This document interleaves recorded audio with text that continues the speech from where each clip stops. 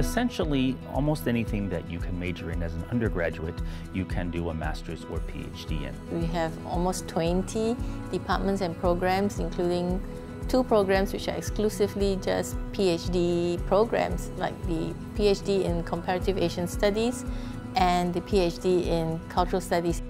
NUS and Singapore is really the hub of tertiary education in Asia. If you look at, for example, the latest QS rankings, that NUS as a university is doing very well.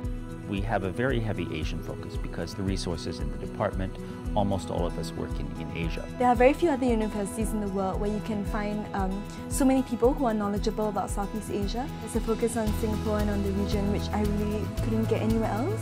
Speaking as a Southeast Asian scholar, the biggest gem NUS has is that it is located in the heart of Southeast Asia. And I don't think many institutions can boast being within Southeast Asia and having worldwide recognition. There are some rock stars among the academic circles uh, within the Asian Research Institute. Students can work with top-notch scholars, they can be involved in conferences and workshops that we host.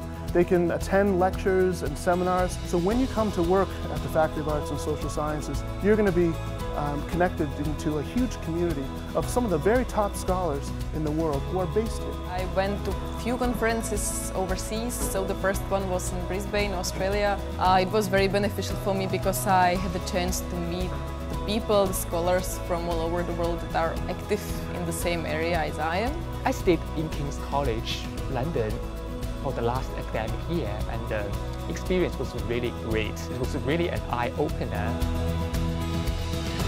In the faculty, we provide quite a lot of financial incentives and uh, support for the students. We have different levels of support.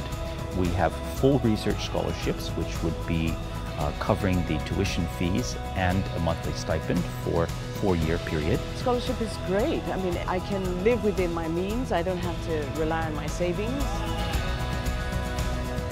NUS is a very vibrant community and the student life can be really exciting. There are various societies, sports clubs, things like that. I can definitely notice the culture is very cosmopolitan. You look around in a classroom, you can see people from different countries seated together in a classroom, exchanging their ideas.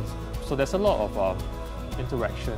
Within the graduate class, um, the, the, dynamics, the interactivity is a lot more um, collegial. Having such close access to the university, to the library, really was a great environment for me to focus on developing the thesis into the best version that I could make it into. I think this university can provide me with the best atmosphere to connect to my talents, my passion for political science, and actually to produce the best uh, research that I'm capable of. Speaking from experience, right, I can say that coming to FASS Sociology to do a master's was probably the best thing that I ever did uh, because it's facilitated my career and it has given me the kind of kind of grounding that I needed intellectually. So the comprehensiveness of our university is a very strong suit for why students should consider NUS and FASS. Don't be afraid. Go for it. Come to NUS.